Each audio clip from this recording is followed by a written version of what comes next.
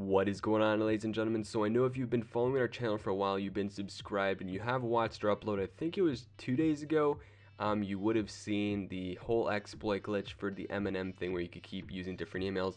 Um, so fortunately there were people that were lucky and then unfortunately there weren't people that were so lucky and didn't get anything from it but for those few people that were fortunate enough to win some Mars bars and shit like that and some Xbox Live you guys will need to wait I think three weeks until the contest finishes comes to a close but in addition to that if you guys did use a fake email um, you guys will not receive anything obviously because when they send it out that email doesn't exist and then it won't be sent anywhere. So just make sure you guys have access to the email that you guys did use if it was a legit email. Um, you guys can do it with as many legit emails as you want but you guys can only do it once a day.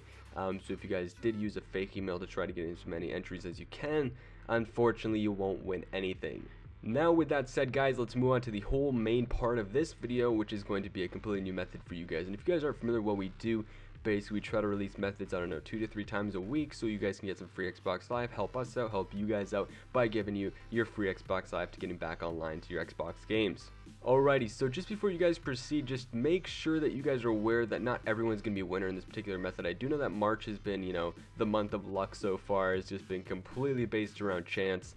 Um, so we're going to be carrying that on for now. And ironically, it was St. Patrick's Day not too long ago. So hopefully the luck of the Irish is with you guys. We're going to be leaving a Google document in the description down below for you guys to check out. You guys can go ahead, scan through the steps. Now, if you guys do complete, let's say, let's say there's nine steps and you only completed eight of them. And we will not be uh, basically making you eligible to win anything if you guys don't follow through all the way to the end. So if you guys did only half-ass the steps, well then you're to get nothing. So I would advise you guys complete the job from start to the end and get that done. And once you guys are done, you guys can send us all your proof and verification on our Twitter. Now, we won't be asking it unless there is some suspicious activity going on with you guys, so make sure it's all legitimate.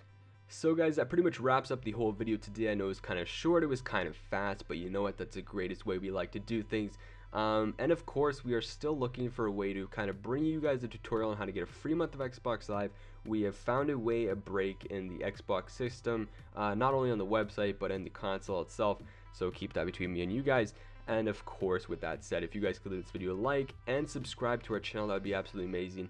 And if you guys didn't really catch it, you guys just skipped to the end of the video, we will be leaving that Google document in the description of this video. So check it out, guys. Hope to catch you guys in the next upload. Have a good one.